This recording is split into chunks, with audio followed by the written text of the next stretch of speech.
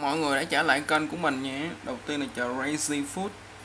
chọn tuyệt vời hiện nay